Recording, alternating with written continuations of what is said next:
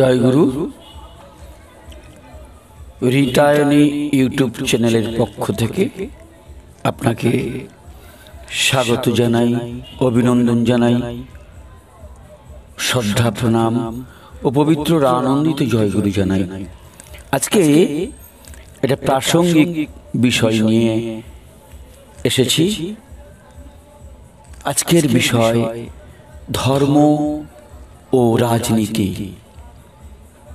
লিখেছেন শ্রী কুমার কৃষ্ণ ভট্টাচার্য, কর্মসচিব, সৎসঙ্গ প্রেস, দেওঘর।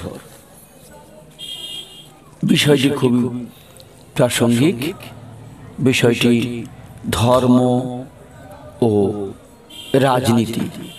সবার কাছে অনুরোধ করব,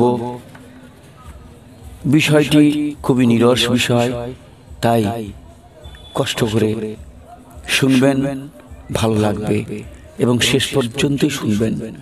টেনে টেনে দেখলে বা শুনলে তার ধারাবাহিকতা নষ্ট হওয়ার কারণে আপনার ভালো নাও লাগতে পারে।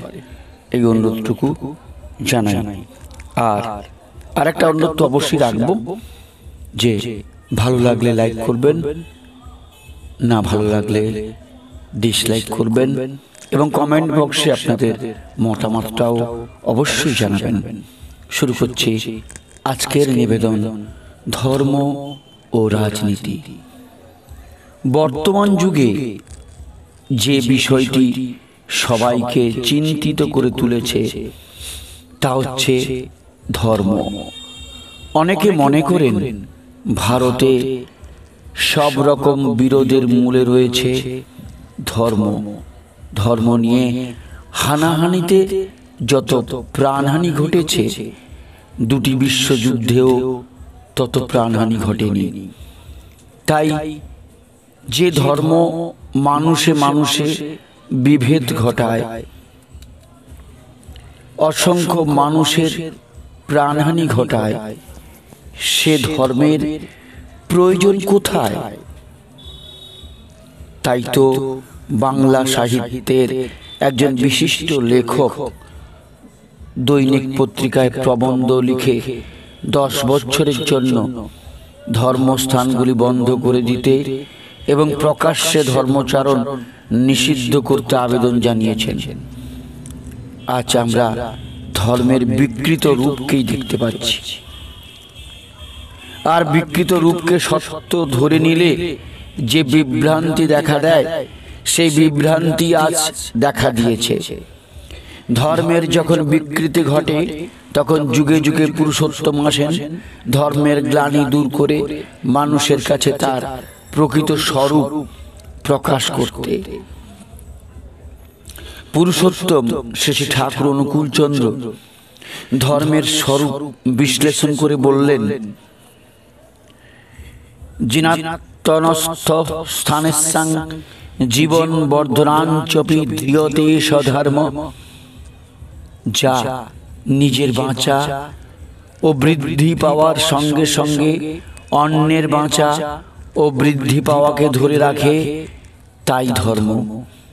তিনি আরও বললেন, ধর্ম মানেই কৃষ্টিকে ধরে রাখা, যা আয়ত্ত করে সত্তায় সুস্থ থেকে নিয়ন্ত্রিত হয়ে শাসিত হয়ে উৎকর্ষে বৃদ্ধি পেতে পারা যায়।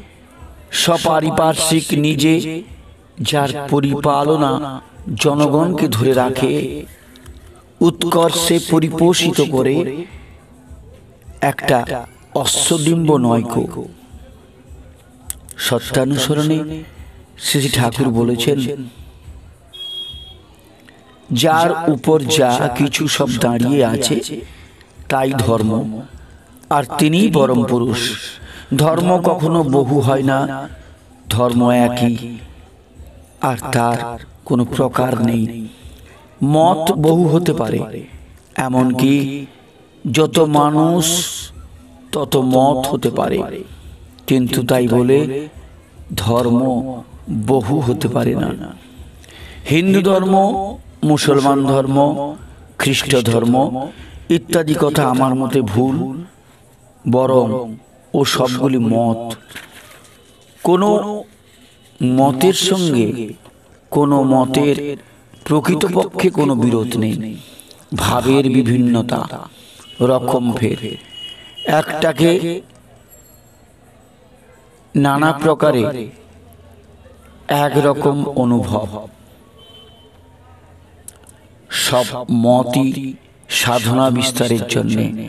তবে তা নানা প্রকারে হতে পারে। আর যতটুকু বিস্তারে যা হয়, তাই অনুভূতি, জ্ঞান, তাই ধর্ম, অনুভূতির উপর। শ্রীরামকৃষ্ণদেব বলেছেন, যত মত, তত পথ। শ্রী ঠাকুর অনুকূল চন্দ্র আর এক ধাপে গিয়েছেন। তিনি আরও সরল করে দিলেন। বললেন, যত মত, তত একই পথ। অর্থাৎ ঈশ্বর অনুরাগের পথ ধরে তাকে উপলব্ধি করা, তাকে লাভ করা, প্রাপ্তি মানে আপতি হওয়া। ঈশ্বর প্রাপ্তি মানে ঈশ্বরত্বে উপনীত হওয়া। আর আমাদের গন্তব্য হচ্ছে ঈশ্বর প্রাপ্তি। পাশ্চাত্য মনীষী আর ডাব্লিউ এমারসন বলেছেন the whole state of man is a state of culture and its flowering and com completion may be described as religion. Shri Thakur বললেন ধর্ম বিজ্ঞানের হোতা। বর্ধনার ব্রহ্মা। ব্যক্তিত্বের ঋত্বিক। জীবন পরিচর্যার পুরোহিত। কৃতিদীপনার উদ্গাতা। সত্তার ধারণ পালনী সম্বেক। সর্বশেষ ও নির্বিশেষের একাই তো অর্থ ও ভূমি। স্বার্থের সর্বস্ব পরিপালন ও পরিচর্যার আত্মপ্রসাদ বিশ্বের যা কিছু অস্তিত্বের কল্যাণ প্রবাহ। জীবনীয় কলস্রোতা মঙ্গল শঙ্খধ্বনি তাই জীবনকে বলো ধর্মকে তুমি এক চুলো ত্যাগ করো না বঞ্চিত হয়েও না।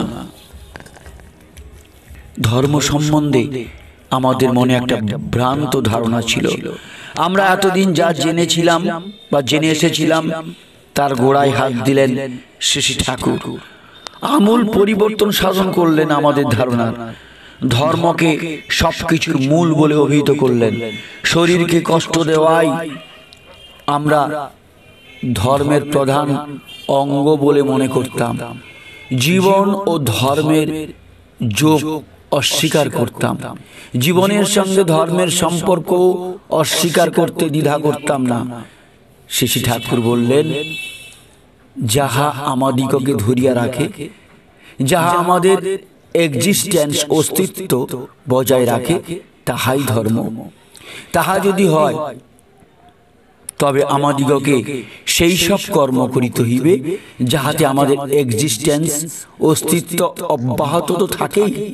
বরং পাকা হয়। তাহলে ধর্ম করতে হলে কর্ম করতে হবে।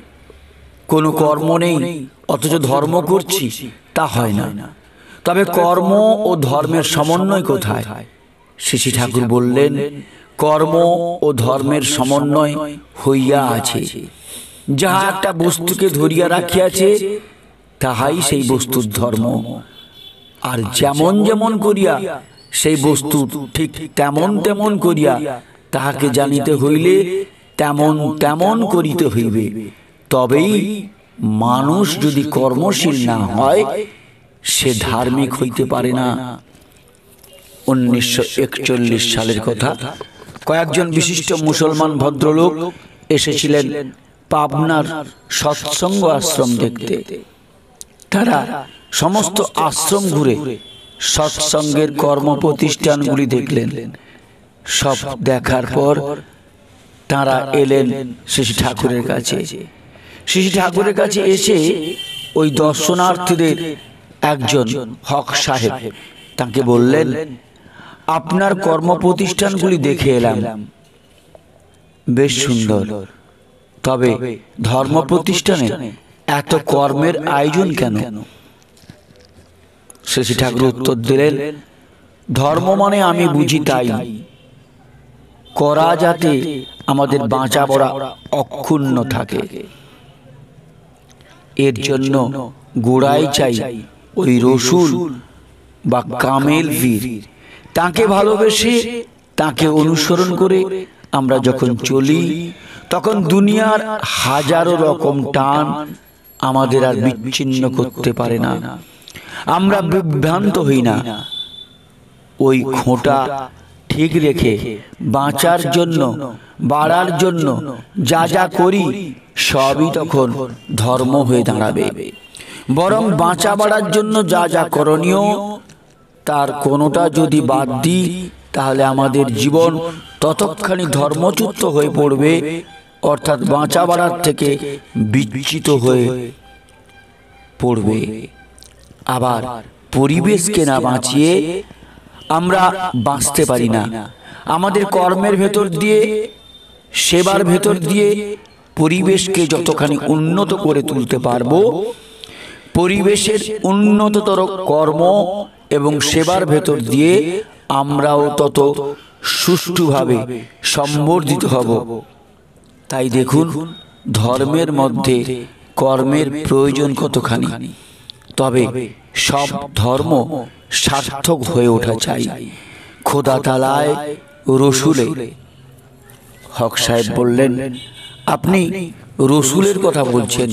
হিন্দুর মুখে রসুলের কথা তো বড় একটা শুনি না শেষী ঠাকুর তার উত্তরে বললেন খোদার প্রেরিত যিনি তিনি সবারই আপনজন। তিনি হিন্দু মুসলমান সকলেরই। সর্বমানবেরই। এই রসুলকে বাদ দিয়ে আমরা খোদা তালায় পৌঁছাতে পারি না। আবার রসুল বলেছেন, আমরা যদি প্রেরিত পুরুষদের কাউকে স্বীকার করি, কাউকে অস্বীকার করি, কাউকে ছোট করে, কাউকে বড় করি, তাহলে সেটা কাফেরত্বরই সামিল। আবার ঈশ্বর বিশ্বাসী অটুট ইষ্টপ্রাণ কাউকে যদি কেউ কাফের বলে সেও তার ভেতর দিয়ে নিজের কাফেরত্বরই পরিচয় দেয়। প্রকৃত প্রস্তাবে ধার্মিক কখনো কাফের নয় আবার কাফের কখনো ধার্মিক নয়। খাঁটি হিন্দু মুসলমান বৌদ্ধ বা খ্রিস্টানে কোনো প্রভেদ নেই। তারা সবাই একপন্থী প্রত্যেকেরই উচিত প্রত্যেকটি প্রেরিত পুরুষকে শ্রদ্ধা করা। এর ভেতর দিয়ে পারস্পরিক সম্প্রীতি সহজ হয়ে ওঠে। ধর্মের বিকৃতি যাতে না হয়, সেদিকে আমাদের সমবেত লক্ষ্য রাখা উচিত। রসুলের কোনো বাণীর কদর্থ যাতে কেউ না করে, সেদিকে আপনারও যেমন লক্ষ্য রাখা প্রয়োজন, আমরাও বা আমারও তেমনি লক্ষ্য রাখা প্রয়োজন। প্রত্যেক মহাপুরুষ সম্বন্ধেই প্রত্যেকের এই মনোভাব থাকা উচিত। আমরা পরস্পরকে যত জানি এবং শ্রদ্ধা করি, ততই লাভবান হই। যতই অনুধাবন করি, ততই বোধ করতে পারি। খোদা এক, তার প্রেরিত পুরুষগণ এক বার্তাবাহী এবং ধর্ম অর্থাৎ জীবন বৃদ্ধির নীতি একই। হক সাহেব, ইসলাম অন্যান্য ধর্মে তো অনেক পার্থক্য দেখা যায়। হক সাহেব বলছেন যে ইসলাম ও অন্যান্য ধর্মে তো অনেক পার্থক্য দেখা যায়। উত্তরে শ্রী ঠাকুর ঠাকুর বললেন, মূলগত পার্থক্য খুব কমই পাবেন। তবে দেশ কাল পাত্রানু বৈশিষ্ট্য অনুযায়ী খুঁটিনাটি ব্যাপারে বিশেষ বিশেষ বিধান থাকতে পারে। এবং আমার তো মনে হয় সেটা ঐক্যেরই নিদর্শন। কারণ প্রত্যেক প্রেরিত পুরুষই বৈশিষ্ট্য পূরণী। এই বৈশিষ্ট্য পূরণের দিক দিয়ে সবার মধ্যে ঐক্য আছে। বৈশিষ্ট্য যেখানে বিচিত্র সেখানে বৈশিষ্ট্য পূরণী ব্যাপারে বৈচিত্র্যের অভিব্যক্তি থাকবেই। কিন্তু সবটার মূল লক্ষ্য ঈশ্বরমুখী। জীবন বৃদ্ধি। আর প্রেরিত পুরুষদের মধ্যে পাবেন পূর্বতনের আপূরণ। সপূর্বে জামপি গুরু কালো নানবচ্ছেদাত পূর্ববর্তী পূর্বতনদের সংহত মূর্তি পূর্বতনদের সঙ্গে তার বিরোধ নাই বরং তার মধ্যে আছে সবার পরিপূরণ। হক সাহেব বলছেন মূলগত বিষয়ে যে পার্থক্য নেই, তাই যা বলা যায় কি করে? শ্রী ঠাকুর বলছেন, ধরুন, ইসলাম শব্দের মানে আমি শুনেছি, খোদায় আত্মনিবেদন বা শান্তি। সব ধর্মই তো মূল কথাই। সব ধর্ম বললে কথাটা ভুল বলা হয়, কারণ ধর্ম বহু নয়, ধর্ম একই। আর কালেমা নামাজ, রোজা, হজ জাকাত এই পাঁচটি অনুষ্ঠান শুনেছি মুসলমানদের অবশ্যই করণীয়। প্রত্যেক শাস্ত্রেই তো এই বিধান আছে। তবে হয়তো ভিন্ন ভাষায়, ভিন্ন নামে হতে পারে।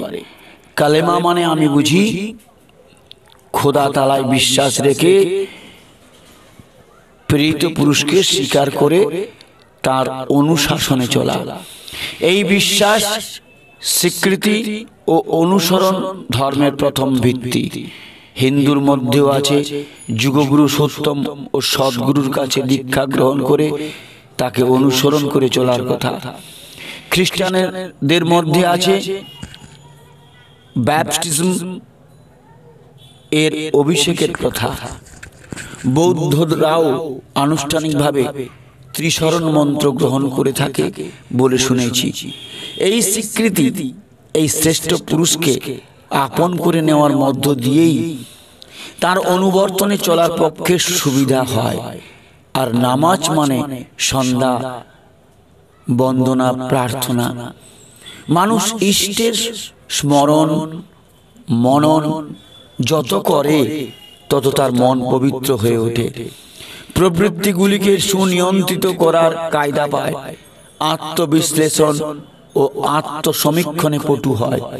তাছাড়া এতে করে ইষ্টিচলনের সম্বেগ বাড়ে, তাই এ নির্দেশও সর্বত্র আছে। আর রোজা মানে ইষ্ট চিন্তা পরায়ণ হয়ে সুনিয়ন্ত্রিত উপবাস। এতে শরীর ও মনের অনেক গলত বেরিয়ে যায় ইচ্ছা শক্তি প্রবল হয়ে ওঠে। শুনেছি বিধিমাফিক উপবাস কাম দমনের পক্ষে সহায়ক। এও সবারই করণীয়। যে যে পথেই চলুক হজ মানে তীর্থযাত্রা। ভাবাসিক্ত হয়ে তীর্থ দর্শন করলে আমরা সাধু মহাপুরুষদের ভাবে অনুপ্রাণিত ও অভিষিক্ত হয়ে উঠি। এ বিধানও সবার মধ্যে আছে। আর জাকাত মানে ধর্মার্থে দান, ইষ্টার্থে উৎসর্গ। এ বাস্তবকরণের ভেতর দিয়ে ইষ্টের প্রতি আমাদের অনুরাগ বাড়ে। তাছাড়া আমাদের উদরান্ন আহরণী কর্ম ইষ্ট সার্থকতায় সার্থক হয়ে উঠতে থাকে। এইভাবে ইষ্ট আমাদের সব কিছুতেই অনুপ্রবিষ্ট হয়ে ওঠেন। সংসারে চলতে আমাদের হাজার রকম তাল নিয়ে চলতে হবে। কিন্তু সপ্তাহের মধ্যে যদি ইষ্টকে স্থাপন করতে পারি, তাহলেই আমরা বহু অনিষ্ট, বিপদ, আপদ ও অনর্থের হাত হতে রেহাই পেতে পারি। আপনাদের যেমন জাকাত আছে, তেমনি অন্যত্র আছে ইষ্টভৃতি এই ইষ্টভৃতি যে কত বড় জিনিস, মানুষের কত বড় রক্ষা কবচ, তা করলেই বোঝা যায়। আবার এর ভেতর দিয়ে দুস্থ পরিবেশও প্রভূত উপকৃত হয়। তাহলেই দেখুন মূল জিনিসগুলি সর্বত্র সমান কিনা। সব ধর্মেরই মূল এক। প্রত্যেক মহাপুরুষের প্রবর্তিত বিধিতে এই মূল সুর ধ্বনিত হয়। কিন্তু এখন প্রশ্ন হচ্ছে ধর্ম নিয়ে তবে এত বিরোধ বা কেন? আর হিংসাই বা কেন? শ্রী ঠাকুর এর স্পষ্ট জবাব দিয়েছেন। বলেছেন ধর্মের মারামারি কখনো নাই কোথাও নাই।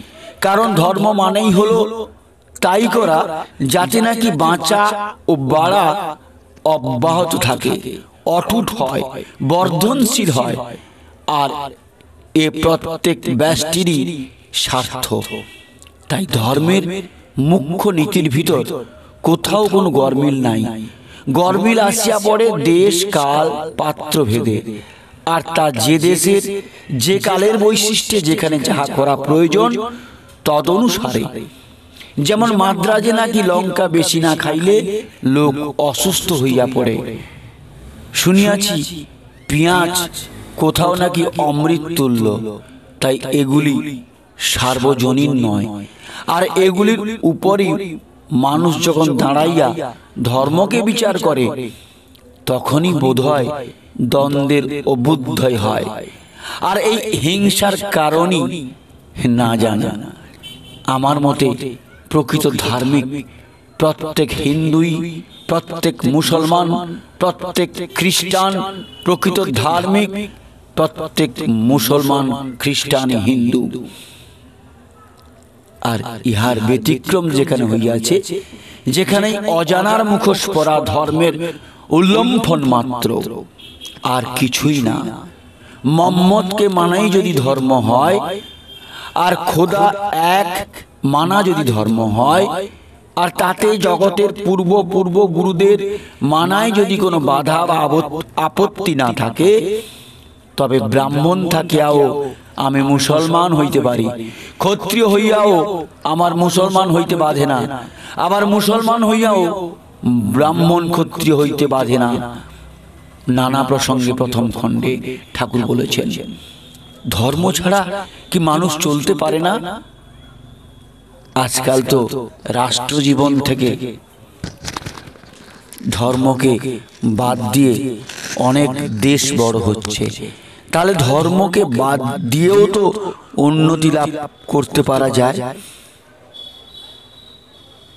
না যায় না। উন্নতি লাভ অর্থাৎ বাঁচা বাড়া যেখানে আছে সেখানে ধর্ম আছে। তাই শিশি ঠাকুর বললেন আমরা ধর্মকে ছাড়তে পারি কিন্তু ধর্ম আমাদের ছাড়ে না। যতদিন আমাদের বেঁচে থাকা আর বৃদ্ধি পাওয়া বলে কিছু আছে আর যা করে বা যা দিয়ে তা হয় সেই ধর্মই। তা মেনেই চলি। তা ধর্মের নাম দিয়েই হোক আর না দিয়েই হোক, কামাল পাশা ধর্মকে উড়িয়ে দিতে পারেন না। কারণ ধর্মের উপর দাঁড়িয়েই তার যা কিছু। আর কোরআন তাই যাতে নাকি সেগুলির সমাবেশ আছে। তবে ধর্মের মুখোশ পরা অধর্মকে তিনি তাড়াতে পারেন বটে। আর তা তাড়ানোই উচিত। কোরআনের কদর্থকে তাড়ানো যেতে পারে, কিন্তু কোরআনকে নয়। জাপান রাশিয়াতেও তাই, নামে না থাকতে পারে। করাই আছে।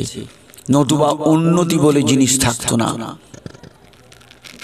ইতিহাসে দেখা যায়, এক একটা মতকে কেন্দ্র করে এক একটা সম্প্রদায় গড়ে উঠেছে। আর এই সব সম্প্রদায়ের মধ্যে বিরোধের অন্ত নাই। তবে কি মহাপুরুষগণই সম্প্রদায় সৃষ্টি করে যান? সৎসঙ্গ কি এইরকম একটি সম্প্রদায়? শেষে ঠাকুর বললেন যারা হিরো বা মহাপুরুষ যারা জীব ও জগতের মঙ্গল চান তারা কেহই সম্প্রদায় গড়িবার উদ্দেশ্যে কিছুই করেন নাই। আমি যদিও আমাকে তাহাদের মতো কেহ বলিয়া জানি না তথাপি বুঝিয়াছি তাহারা যাহা করিয়াছেন তাহা মঙ্গলকে আলিঙ্গন করিবার জন্যই। আমিও আমার মঙ্গল চাই। আর এই আকুতি আমাকে আমন্তর করিয়া তুলিয়াছে। আমি যাহা করিতেছি আমার আর আমি যাহাদের দিয়া তাহাদের দিকে তাকাইয়াই হয়তো সৎসঙ্গ অন্যান্য সম্প্রদায়ের মতো হইয়াছে বা হইয়া উঠিতে পারে। সৎসঙ্গের ফলোয়াররা ফলোয়াররা বা অ্যাডমিয়ার। রা যদি বা যখনই তাহাদের নিজেদের প্রতিষ্ঠা করিতে গিয়া আমি যাহা বলিয়াছি বা বলিতেছি তাহা উল্লঙ্ঘন করিয়া পূর্ব গুরুদের মহাপুরুষদের বা হিরোদের বা তাহাদের অ্যাডমিরার বা ফলোয়ারদের অ্যাডমিরেশন ও সার্ভিস হারাইয়া ফেলে বা ফেলিবে। তখনই ইহা সংকীর্ণ এক গণ্ডি ছাড়া আর কিছুই হইবে না ইহা নিশ্চয়ই। ঠাকুর বলেছেন নানা প্রসঙ্গে প্রথম খণ্ডে। শ্রী ঠাকুর তার অপরূপ কাব্য ব্যঞ্জনায় বললেন সৎসঙ্গ চাই মানুষ ঈশ্বরই বলো খোদাই বলো ভগবান বা গডই বলো অস্তিত্বই বলো ভূত মহেশ্বর যিনি তিনি এক। তাঁরই নামে। বোঝে না সে উদাত্তের নামে, প্রেরিত বা অবতার পুরুষের নামে গণ্ডি টেনে প্রত্যেকের বিরুদ্ধে অন্যদের হাতে নিজেকে গণ্ডি নিপীড়িত করে পারস্পরিক অসহযোগিতায় নিবদ্ধ করে আত্মঘাতী আমন্ত্রণে গণ বিপর্যয়ী ব্রাহিটিকে সৃষ্টি করে এমনতর কেউ বা কিছুকে হিন্দু হোক মুসলমানই হোক জৈন শিখ বা বৌদ্ধ হোক খ্রিস্টানই হোক বা আর যাই কিছু হোক সে বোঝে প্রতি প্রত্যেককে তারই সন্তান। সে আনত করে তুলতে চায় সকলকে সেই একে। সেই পাকিস্তানও বোঝে না হিন্দুস্তানও বোঝে না রাশিয়াও বোঝে না চায়নাও বোঝে না ইউরোপ আমেরিকাও বোঝে না সে চায় মানুষ সে চায় পাকিস্তান সে চায় প্রত্যেকটি লোক, সে হিন্দুই হোক, মুসলমানই হোক, খ্রিস্টানই হোক, বৌদ্ধই হোক, বা যেই যা হোক না কেন, যেন সমবেত হয় তাঁরই নামে, পঞ্চর বহির, উদাত্ত আহ্বানে, অনুসরণে, পরিপালনে, পরিপূরণে, উৎসৃজি উপায়নে পারস্পরিক সহৃদয়ী সহযোগিতায় শ্রম কুশল ঊর্ধ্বধ্বনি চলনে যাতে খেটে খুঁটে প্রত্যেকে দুটো খেয়ে পরে বাঁচতে পারে, সত্তা স্বতন্ত্রকে বজায় রেখে সম্বর্ধনার পথে চলে। প্রত্যেকটি মানুষ যেন বুঝতে পারে, প্রত্যেকেই তার কেউ যেন না বুঝতে পারে, সে অসহায় অর্থহীন, নিরাশ্রয়। প্রত্যেক লোক যেন বুক ফুলিয়ে বলতে পারে, আমি সবারই। আমার সবাই সক্রিয়, সাহচর্যী অনুরাগ মাদনায়। সে চাই একটা পরম রাষ্ট্রীয় সমবায়, যাতে কারও সৎ সম্বর্ধনার এতটুকু ত্রুটি না থাকে। অবাধ হয়ে চলতে পারে প্রতি প্রত্যেককে এই দুনিয়ার বুকে। এক সহযোগিতায় আত্মোন্নয়নী শ্রম কুশল সেবা বর্ধনা নিয়ে পারস্পরিক পরিপূরণী সংহতি উৎসারণায় উৎকর্ষী অনুপ্রেরণায় সন্দীপ্ত হয়ে সেই আদর্শ পুরুষ সার্থক হতে সেই এক অদ্বিতীয় ধৃতিবিজ্ঞানার প্রথম খণ্ড বাণী সংখ্যা চারশো দশ। তাহলে আমরা দেখতে পাই যে ধর্ম এবং সাম্প্রদায়িক সাম্প্রদায়িকতা এক জিনিস নয়। ধর্ম মানুষকে নিজের বাঁচা ও বৃদ্ধি পাওয়ার সঙ্গে সঙ্গে অন্যের বাঁচা ও বৃদ্ধি পাওয়াকে সাহায্য করতে শেখায়। ধর্মের যখন বিকৃতি দেখা দেয় তখন তা সাম্প্রদায়িকতা পর্যবসিত হয়। যুগে যুগে দ্রষ্টা পুরুষগণ এসে মানুষের মন থেকে সাম্প্রদায়িকতা, কালিমা দূর করে ধর্মের জীবন বৃদ্ধিমুখী আলোর দিকে নিয়ে যান। পূর্ব পূর্ব প্রেরিতগণের সংগত মূর্তি হচ্ছেন বর্তমান পুরুষোত্তম। তিনি মানুষকে শেখান, ধর্ম এক, ঈশ্বর এক এবং প্রেরিতগণ একই বার্তাবাহী। তিনি প্রত্যেকের বৈশিষ্ট্যকে পালন ও পূরণ করেন এবং ধর্মান ধর্মান্তকরণকে ঘৃণা করেন। খ্রিস্টানগণ তার কাছে এসে যীশু খ্রিস্টের জীবন এবং বাইবেল সম্বন্ধে আরও অনেক জ্ঞান লাভ করেন। তেমনি মুসলমানগণ হাজরত মোহাম্মদ এবং পবিত্র কোরআন শরীফকে আরও ভালোভাবে বুঝতে পারেন যিনি যে মতালম্বী হন না কেন তিনি সেই মতকেই আরও ভালোভাবে জানতে পারেন। এবং অন্য মতের সঙ্গে তার যে বিরোধ নেই তা বুঝতে পারেন। ফলে একজনকে কেন্দ্র করে সবাই ভাই ভাই হয়ে দাঁড়ান। চিনির দানাকে মিষ্টিতে পরিণত করতে হলে যেমন একটা সুতোর দরকার হয়, তেমনি বিভিন্ন মতের লোককে একটানিবদ্ধ করতে হলে মিলন সূত্র দরকার। যুগগুরু সত্যম হচ্ছেন সেই মিলন সূত্র। তাকে কেন্দ্র করে সব মতের মানুষ যদি চলেন, তবে বিভিন্ন মত থাকলেও সাম্প্রদায়িকতা থাকবে না। এছাড়া সাম্প্রদায়িকতা দূর করার অন্য পথ নেই। শেষে ঠাকুরের এই ছড়াটি সর্বদা আমাদের স্মরণে রাখা দরকার। বুদ্ধ ঈশায় বিভেদ করিস শ্রী চৈতন্য রসুল কৃষ্ণে জীবোদ্ধারে হন আবির্ভাব। একই ওরা। তাও জানিস নে? আর একটি বিষয় যা বর্তমানে মানুষকে ভাবিয়ে তুলেছে। তা হচ্ছে রাজনীতি এবং ধর্মের সঙ্গে রাজনীতিকে যুক্ত করা। ধর্মের সঙ্গে রাজনীতিকে যুক্ত করার ফলে ভারত বিভক্ত হয়েছে এবং বর্তমান দেশকে টুকরো টুকরো করার প্রবণতা দেখা দিয়েছে। রাজনীতিকে যাতে ধর্মের সঙ্গে যুক্ত করা না হয়, সেজন্য ভারত সরকার আইন প্রণয়ন করার কাজে হাত দিয়েছেন বলে শোনা যাচ্ছে। এখানে সেই বিকৃতির প্রশ্ন আসছে, আমরা বর্তমানে রাজনীতির যে রূপ দেখছি, তাকে কি সত্যি রাজনীতি বলে? একে রাজনীতি না বলে রাজনীতির বিকৃত গলিত পুতিগন্ধময় রূপ বলা যেতে পারে। প্রকৃত রাজনীতি কাকে বলে? শিশি ঠাকুর বললেন the message volume four that which protects nature and fulfils the uphold of existence is politics আবার ঠাকুর বলছেন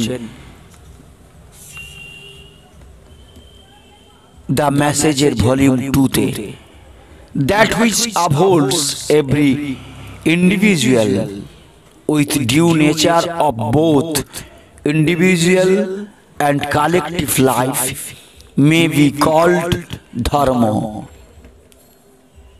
ঠাকুর বলছেন সেই নীতি রাজনীতি যা নাকি মানুষকে ব্যষ্টিভাবে এবং সমষ্টিভাবে স্বাস্থ্যে শিক্ষায় ও চরিত্রে নিয়ন্ত্রিত করিয়া জীবন ও বৃদ্ধিকে ক্রমোন্নতির দিকে লইয়া যায়। আর যেখানে ইয়া জীর্ণ ও জটিল ও মসিলিপ্ত সেখানে ব্যবিচার ও বিদ্রোহ অবসম্ভাবী চলার সাথে। ঠাকুর বলছেন আর ধর্ম কাকে বলে?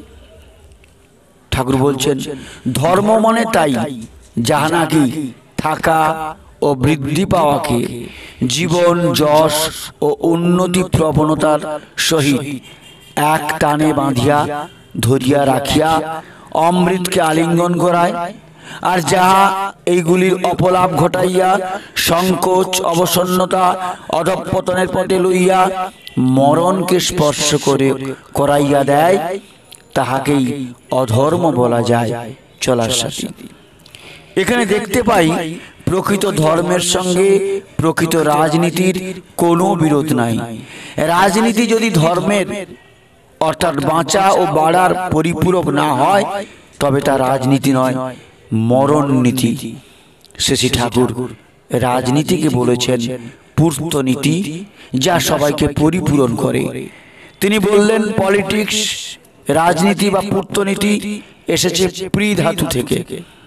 অর্থাৎ যাতে মানুষ ফুলফিল্ড পরিপূরিত পরিপূরিত হয়। সত্তার পূরণ বাদ দিয়ে পলিটিক্স ভূতের নাচন। প্রথম ও প্রধান জিনিস হলো দায়ী আদর্শ গুরু বৈচিত্র্য একাই তো যেখানে প্রজ্ঞায় করায় চালে চলনে। ওইভাবেই থেকে ইউনিভার্সিটি বিশ্ববিদ্যালয় বিশ্ববিদ্যালয় কথা এসেছে। অবশ্য আজকালকার ইউনিভার্সিটিতে তা কমই আছে। ওই জীবন্ত আদর্শে যোগযুক্ত হতে হতে হবে। এমন হওয়া চাই যে তার পূরণ পোষণ বাদ দিয়ে কিছু করতে প্রাণ চাইবে না। ভালো লাগবে না। তোমার সব করা বলা ভাবা যখন তার প্রতি ভালোবাসা থেকে উৎসারিত হবে তখন সেগুলির ম্যাগনিফুল মিনিংফুল অ্যাডজাস্টমেন্ট ইন্টিগ্রেশন ও ক্রাইস্টিলাইজেশন অর্থাৎ সার্থক বিন্যাস সংহতি ও স্ফটিক সংগঠন হবে। প্রত্যেকে বুলেটের মতো শক্তিধর বটে। সবাই বুলেটের মতো শক্তিধর হবে। চিনি ফেকো আর বিরাট এক মিশ্রিত চাকা ছোড়ো। দুই, এর শক্তির কত তফাৎ? রাজনীতিকে যদি শক্তিমান ও সার্থক করে তুলতে চাও, ব্যষ্টি ও সমষ্টিকে আদর্শ কেন্দ্রিক করে তুলতে হবে। মহাশক্তির জাগরণ হবে তাতে।